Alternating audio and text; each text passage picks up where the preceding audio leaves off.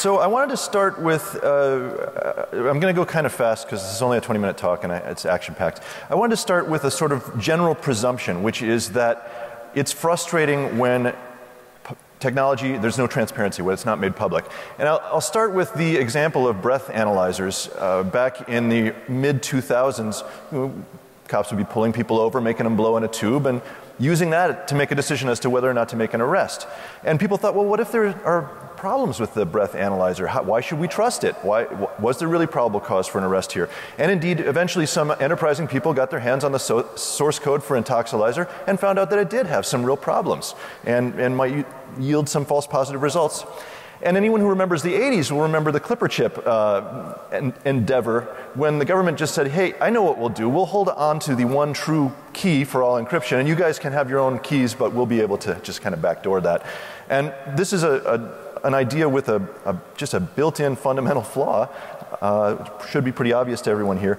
But anytime you hear just kind of trust us, we know what we're doing, that's what gets, gets me riled up. And so what I'm going to talk about is a series of tools that are, are were developed for, for surveilling um, peer-to-peer networks, and they are not made public, and the government just says, just trust us, we know what we're doing. And, and because they're not public, I haven't seen them. I don't know anyone who has seen them unless they are a sworn agent and they won't talk to me about it.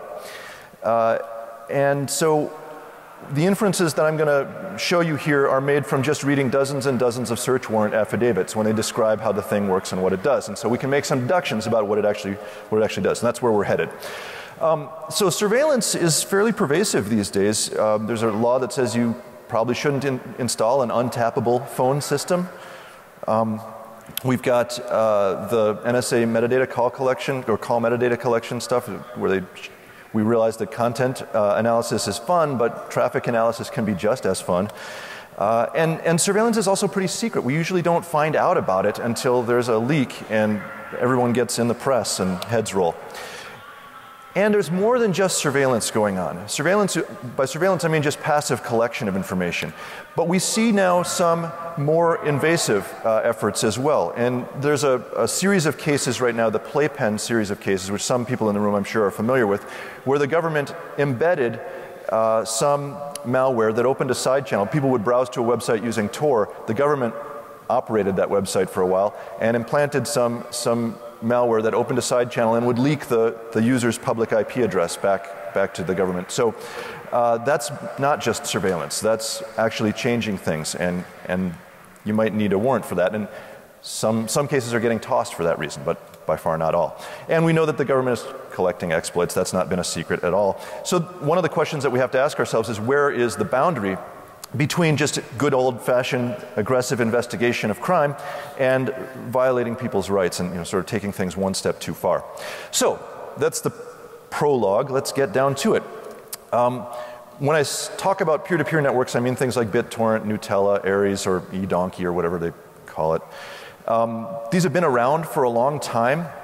Uh, the Gnutella variant of the tool that I'm talking about was in use at least as early as 2009. I don't know if anyone really uses Gnutella anymore, but I'm sure the tool still exists. Um, and these are generally, the tools that I'm talking about are generally forks of open source software. So there's been a, a, a tool developed, you know, like MicroTorrent or whatever, or um, Phex, that's one of the ones. And some enterprising software developer says, I'm going to make my own version of this that does some extra stuff. So they, they make use of aspects of the peer to peer protocol that are normally obscured from the user. They're, they're, they're, below what the user sees. And they add in some features that would not really be of interest to ordinary users. And we'll talk about what those are. So, who develops these? Well, one guy, the, the, the tool for the Ares network was developed by this one person, Joseph Versace. He's a, he's a Canadian law enforcement uh, programmer and analyst. There's a, there was a collaboration between the CS departments at a couple of universities and some police departments that produced uh, Roundup, which is kind of the most best known of these tools, um, and it's based on the, the Phex uh, Gnutella client, and there's a, a, a version of it for BitTorrent as well. So they're developed by, you know, normal folks, academics, and so forth, and they make new uses of some existing features. So for Gnutella, when you do a search, when you get a query hit, it comes back and it includes the SHA-1 hash value of the files that the search hits are.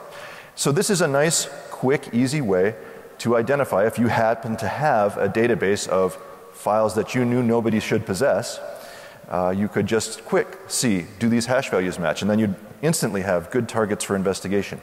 Um, and Gnutella also has a feature called swarming, where if, if I admit that I'm sharing a file, I will also try to tell you about all the other people I know about who are sharing that file so that you can grab it from multiple peers and it doesn't all have to come from me. And then you can directly uh, browse peers as well, not just do searches, but once you've found someone who is a Gnutella client, you can just go and query them and, and get a list of uh, what files they have, regardless of whether your search turned up those files or not. So that's, those are, you know, kind of interesting features. If you were an investigator, that's kind of fun. Um, on BitTorrent, we have a couple other things. There are what are called tracker messages, and this tells which peers are interested in which torrents. So if somebody is looking for something, you might be able to detect them on that basis. Um, and when they connect for downloads or when they acquire new segments, they'll, uh, um, clients will send out some announcements of what segments they've got so that they can immediately begin participating in the sharing. Remember, the whole idea of BitTorrent was that bandwidth is asymmetrical. We can upload, we can download things way faster than we can upload them, generally speaking. And so we want to share large files. What we'll do is everybody shares segments of the files, or you know, you share the whole file, but we'll grab segments, a segment from here and a segment from there and a segment from here. And that means we can download multiple things while we're only uploading, you know, whatever our up, upstream bandwidth is. Uh, and then there's something called peer exchange, which is kind of like the, the swarming feature for Gnutella. So is, these are the features that it exploits on, on BitTorrent. And then we add in some features as well. Um, known file lists, so a database of known files of interest, so that we can quickly determine when we see search query results whether they are things that we want to be investigating. Uh, IP geolocation. Are these doofuses in our jurisdiction? So before we spend a whole lot of time investigating something, can we at least tell if we would have the power of arrest over these people? Uh, single source downloading. This is, uh, we don't want to find out, we don't want to swear out a warrant and go and rouse someone out of bed and seize their computer, only to find out that they only had the first three segments of an 80 segment torrent. Uh, we want to know that they have the whole thing, and so that means we have to download the whole file from them. So this is completely antithetical to what BitTorrent is designed to do, uh, we're going to, instead of grabbing things from all over the place, we're going to grab them from just one thing. And that's, so that's a, it's not really a subversion of the protocol, but it's a, a use other than what it was designed for. And then fake file sharing also. Uh, we'll get throttled if we're not sharing anything.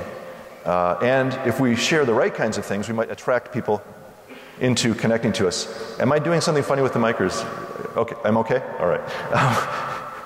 Um, so we, we, we, we, we don't want to actually be distributing contraband, so we're not going to actually do that. But we're going to announce that we have it to share to see who will connect to us, and also so that we don't get throttled.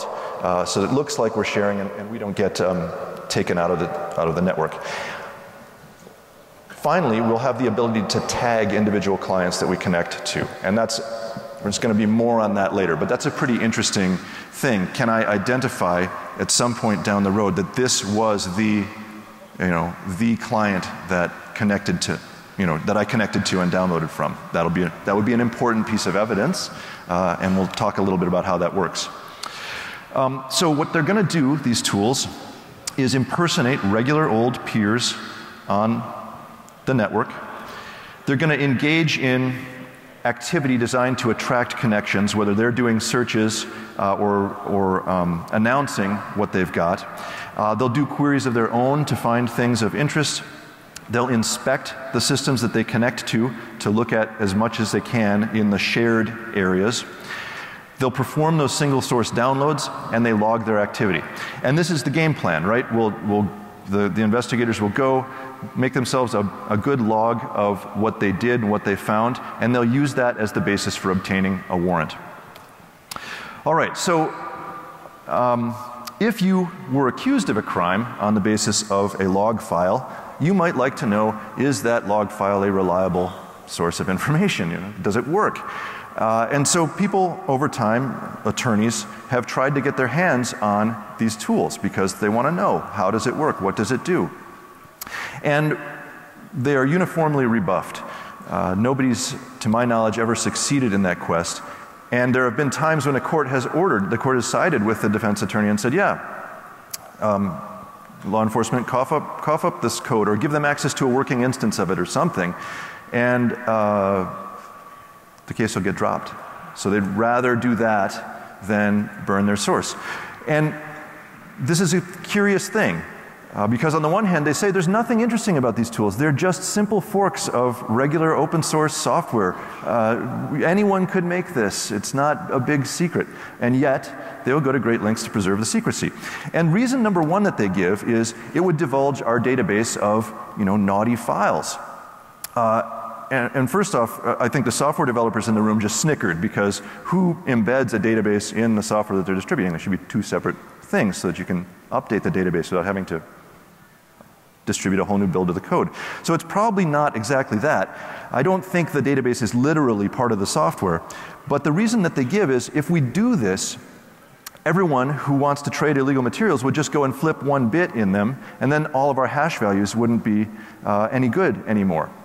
And while that's true, it works, that's a two way street. It wouldn't be any good for the people who are sharing either because they'd not, they would not know uh, if you were out on the internet and everybody you know, claimed to have different files. If the hash values didn't match, how would you know you were getting segments of the same file? So that reason is a little bit shaky to me. Um, but even if everyone did flip bits in their files, that would be so disruptive to the trade of contraband. Maybe you'd want that result anyway. Okay. The code must remain secret. Reason number two it would disclose the undercover investigators. And here I think they're speaking kind of metaphorically the, the, the metaphor that they use is well, you know, if we had um, someone buried deep undercover in a drug cartel, we would use information that they gave us, and that's okay, there's nothing wrong with that. We wouldn't identify that person unless and until we absolutely had to. Um, well, this isn't quite like that, I don't think, uh, but, it, but it's interesting. So I, I can think of two possibilities, and they both revolve around the idea that we don't want one law enforcement agency inadvertently targeting agents of another law enforcement agency, going out on the, on a network and, and seeing, oh, these guys announced that they're sharing all of this stuff, let's go pick on them. So, possibility number one is that nodes know about one another. There's some either central database or, or a list that's published of who's using this software, and that, that way you can identify your friend on the network and you don't go and, and pick on him. Um, this also is probably not part of the software itself, but maybe the software contains the, the means of obtaining that list or something. And that list really should remain secret. We, that, that's a legitimate secret. Um, but I don't think that's it because from time to time they will give you the log file and that contains their IP address in it. So that, that doesn't really make a lot of sense. So the other possibility is there's something distinctive in the way the tool does its initial handshake. So when the, when the, when the two peers connect, when two peers connect, they'll exchange some information. Usually, uh, it'll have a globally unique ID or something like that that it exchanges. And there might be something unique in that handshake that would identify this as a non traditional peer to peer client. And I think that's a pretty likely guess. And I'll talk a little bit more about that because this is how the, the tagging feature works. All right, so we have some problems with not being able to look at this software. And one of them is just the reliability of the software. Does it ever erroneously make a report? Well, it's quite common, I can tell you from my own experience consulting with attorneys, it's quite common that investigators, when they go and they seize a computer, they don't find the files that they say they downloaded from that computer. That happens well over half the time. There are two explanations for this possible. Uh, one is the files weren't there in the first place and the report is wrong. And the second is um, they don't usually execute their warrants until months after they did the initial download, so the file's just not there anymore. Uh, and that, that's probably pretty likely. But uh, what we don't know is how many warrants have they obtained and executed that didn't result in an arrest. We don't see those. That's stuff that never makes it across an attorney's desk. And so we don't know. So we don't know if there are false positives. We don't know it's the, the tool's false positive rate. And that, I think, is a worrisome thing.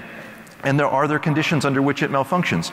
Well, I'm here to tell you that software has bugs. And I mean, we wouldn't even have this conference if that weren't true.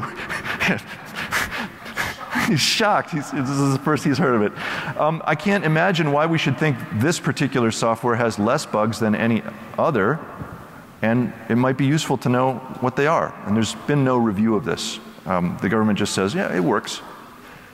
The next problem is the standard for obtaining a warrant.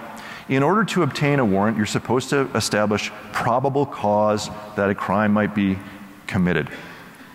And this isn't technology, by definition, this isn't technology that's in the hands of the public.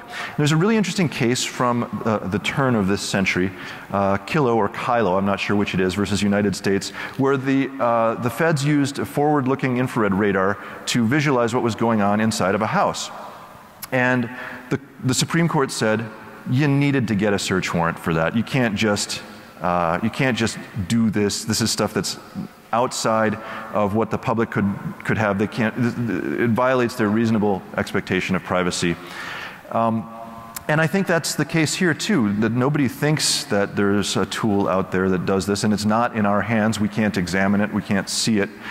Um, and again, this is where the government trots out this, well, this is just modified open source software. Any user could do the same thing. Well, that's farcical. Maybe any software developer could, but most users are not those. But it sort of raises the, the supplementary question how would we know we were doing the same thing if we can't see the tool to begin with? Yeah, maybe we could, right? Maybe we could write any kind of software, but how would we know it works the same way that the government one does? Um, and that brings us also to tagging. Right now, there are, when you're using these tools, there are shared areas on your computer, so folders full of things that you're willing to share on the peer to peer network, and then there's the rest of your computer, which is supposedly off limits. When the way the tagging works is in that initial handshake, the, the law enforcement software will submit a blob of data that's going to get written to a log file. In, in Gnutella, that's the clients.met file, the list of clients that the thing is connected. Uh, that's not in a shared area of the computer, and it contains now a blob of data that the government wrote. And then later, when they come and look through the log, they'll say, "Yep, this is the one we wrote. It's encrypted with our our, our key." Uh, so is that something you should have to get a warrant for? I don't know. Uh, that's an unlitigated um, question right now. Or there's been litigation, but we haven't gotten a sensible result.